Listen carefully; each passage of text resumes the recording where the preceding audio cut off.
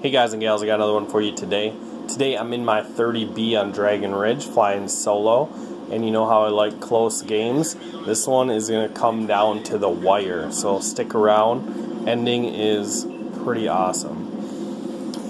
So once again I'm in my 30B. Um, I don't know, I'm kind of finding, now that I haven't played it for a while, I've kind of forgotten what it was like um, still do miss that velocity. Man, I wish they'd just give that back. I don't care about all the other nerfs they gave it.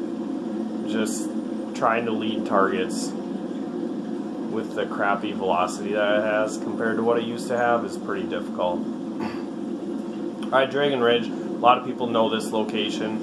Uh, it's like a little sniper hill. Usually Artie will pre-aim it, so you gotta be careful.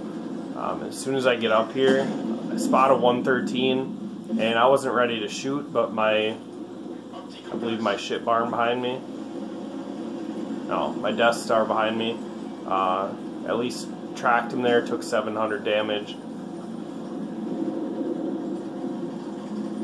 And now I took this location, that way I could spot from two directions, so I spot that 1390, and now I have a ship barn beside me. And once again, I don't have the IS-4 uh, pre-aimed, so when I took a swing at him, the accuracy is just too terrible on this tank to make snapshots. But you're going to miss every shot you don't take. So Now they're starting to push the 9 line pretty aggressively. And we don't have a ton of tanks down there, so I'm going to try to make a play down there.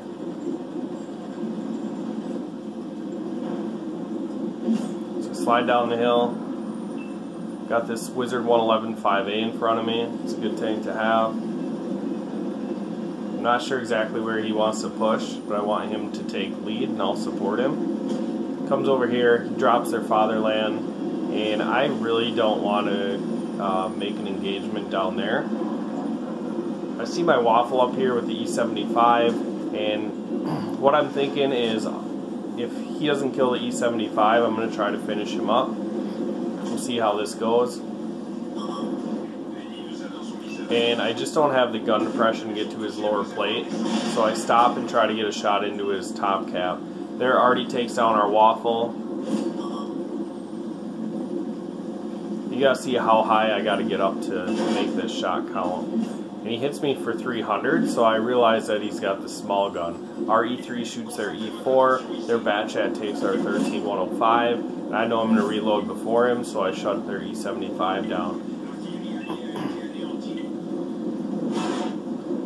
Now I spot their E3 back there, and I try to shoot at his engine deck, and I miss. I still had heat loaded from the E75. And now I'm targeted, so I'm not sure where that's coming from. I figure it's coming from behind me since they're taking our ridge. So what I want to do is try to stay out of their vision. Um, and now I'm going to support this ship barn. In case he misses or leaves him on a sliver, I'm going to be here to clean him up. And actually make the pass on him. So what I want to do is try to get a track in here. That way he can't turn on my ship barn. My ship barn takes care of him. Alright, so now I see that there's a medium tank on pursuit. Um, so what I want to do is put separation in between me and my ship barn. And if that medium pursues me, I'm hoping that my ship barn is going to be able to just can him. So as I approach here, I kill the STI. I see there's an IS-4 pushing on my tank destroyers. Their RE3 kills their Batchat, their 113 kills our FV215B. I shut down the IS-4 and now there's a K91, and he is in hot pursuit of me. So I just want to make some distance and really just bring him out in front of the open uh, so my ship barn can can him. Now I want to try to get him tracked, but it's too late. My ship barn gets him the same time their 48 Patton kills the ship barn. So you can see we're down. It's four to six. This is tight stuff. Uh, this leopard comes flying out, and before I can take him down, I get shot from three different directions, and now the leopard gets put on a one shot. Alright, so at this point I was pretty defeated. Uh, I didn't think that these three tank destroyers were going to be able to pull it off. Um, but now we're going to go into Blazing 9 Inferno, or Blazing Inferno, I imagine is what his name's supposed to be.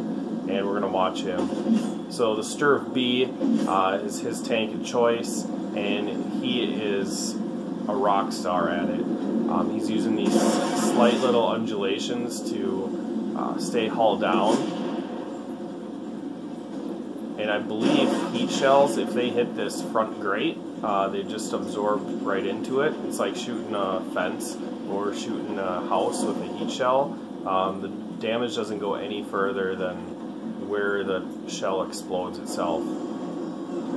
So our E3 just starts to charge the Patton, and this is where I kind of thought he was making a bad decision. Um, I felt like he should have turned and helped our Jag Tiger, which is permatracked by this Patton. However, the Strv B realizes, recognizes the problem, and he's going to get in siege mode here, shoot the Patton.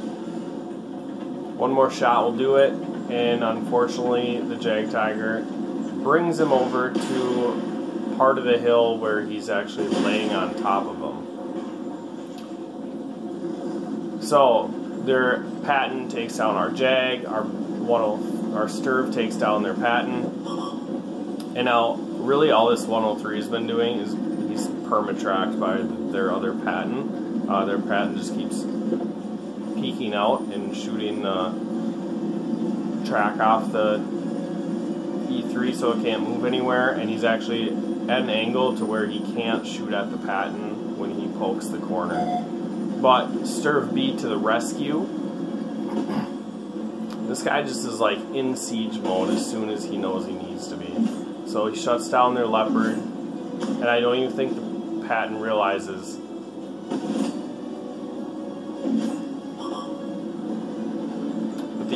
E3 became untracked at that point, and now the E3 is going to make another move, which is unnecessary, but he's just going to try to fa- face hug the Patton. And right now they have him in um, they have him in a funnel, so there's nowhere for him to go.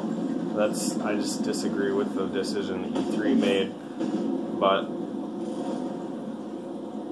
everybody has their own decision that they can make. And that's what makes this game so awesome. So as the Patton tries to escape, the Strv B shuts him down, and now it's just the Strv B versus uh, 13105 and a 4043. So in my opinion, I was thinking that the 13105 was going to go around behind him.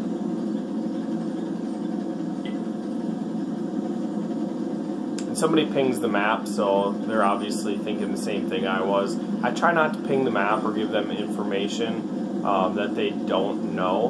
And the 13105 was spotted. Not sure where Artie is, so I don't know that I can help this guy. Not to mention, I don't play my Strv B a lot, so I don't really understand where it works. Um, and when it comes to fighting a scout, I usually just get my ass handed to me. So, um, hoping that this guy, I mean, he's already shown off plenty of skills. He's still full health, and he's fought how many tanks? Um, I think five.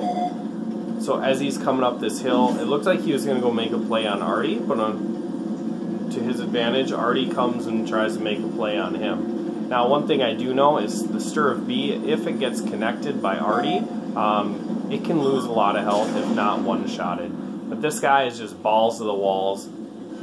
Uh, this 4043 thought that he was going to come around behind him, and then he decides not to. So I feel like he makes a mistake as far as comes over here, so he's facing the 4043's gun, and then he chooses not to go into siege mode. So this 4043 has his gun barrel right in this guy's face, but he finally gets into siege mode, puts him down, and all of a sudden the 13105 shows up. He's not in siege mode anymore, so now it's pretty much him just driving around he pinches the 13105 up against the mountain, um, but obviously that's not going to work. 13105 can sit behind him, just get loaded, and then uh, finish him up. So what he tries to do is just get away, and as he's getting away, 13105 gets too high on that hill, and rather than flying off the other side, he's got to turn, and he turns right into the Strv B, and the Strv B ends the game with a ram.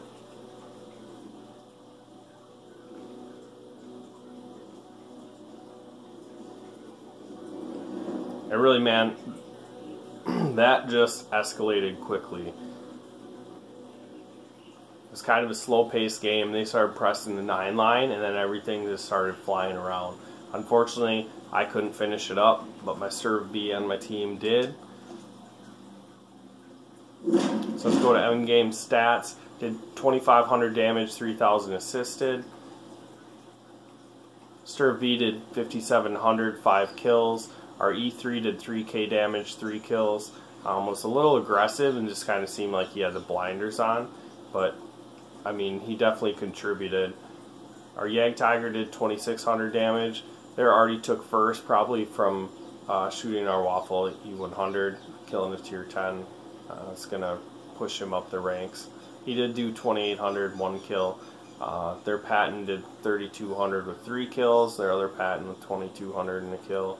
And it was kind of spread out through the rest of the way. Their IS-4, 113 and 105. And their E3 uh, did over 2k damage. But it wasn't enough because we had Blazing Inferno on our team and he threw down like a rock star. So just wanted to feature that game for you guys. Make sure you like, share, subscribe, and I will catch you in the next video.